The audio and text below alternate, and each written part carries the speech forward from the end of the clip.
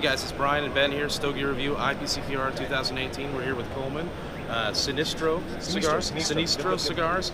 Uh, what, what's what's new? What's uh, what's happening here for the, Uh, at the show with you? Yep, yep. So we have our core line, Sinistro, Mr. Black, Mr. White, Mr. Red.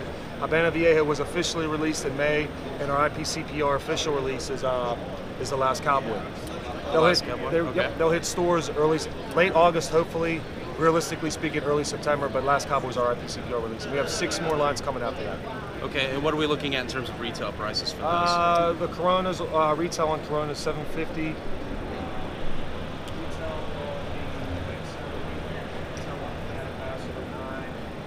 Uh, Last Cowboys. Oh, when you get into the scaler, that's our limited line. It's, there's only one roller in the factory that can roll Yeah. those. Retail on scalers are 16. Retail on Salomons are 18, 19. When you get to the Last Cowboy, scalers are 16. The, T, uh, the Corona Connecticut is uh, 695. So the prices vary depending on the size, of course. okay, okay.